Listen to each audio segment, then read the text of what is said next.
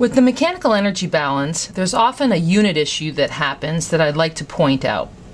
The mechanical energy balance is an energy balance on single input, single output systems where steady flow, constant temperature, no reaction, no heat flow, no phase change, and the fluid is incompressible.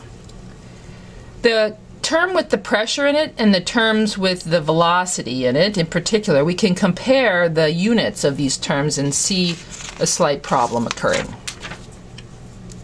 The pressure term is delta P over rho. In American engineering units, that would be pounds force per square foot divided by pounds mass per feet cubed. The velocity term would be delta v squared over 2 alpha. Alpha is dimensionless. Velocity has units of feet per second. When we square it, we get feet squared per second squared. These don't appear to be the same units, foot pound force per pound mass versus foot squared per second squared. And the reason is this is a force unit divided by a mass unit, and we need to resolve these. The resolution of this force unit and this mass unit comes from the definition of the pound force. One pound force is equal to 32.174 foot pound mass per second squared.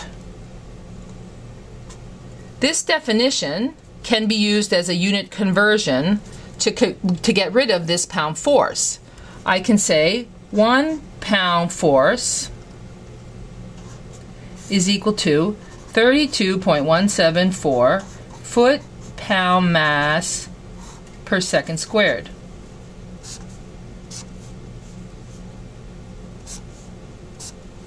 Now I have units of feet squared per second squared. And the unit issue is resolved. So again, to resolve this unit problem, we just needed the definition of this force unit in terms of the mass unit. In SI units, the problem also exists.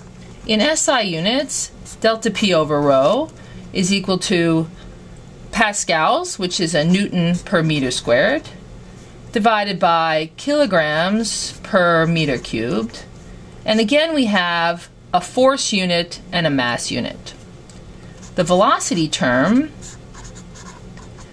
velocity units would be meters per second, and when we square them, we get meters squared per second squared.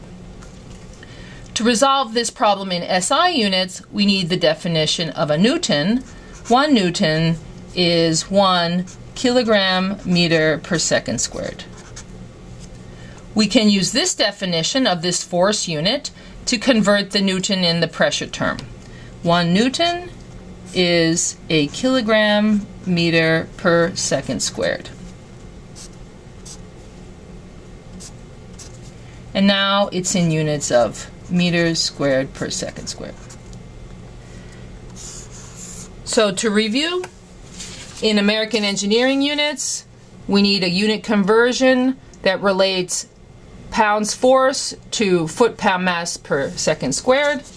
And in SI units, we need a conversion of newtons to kilogram meter per second squared.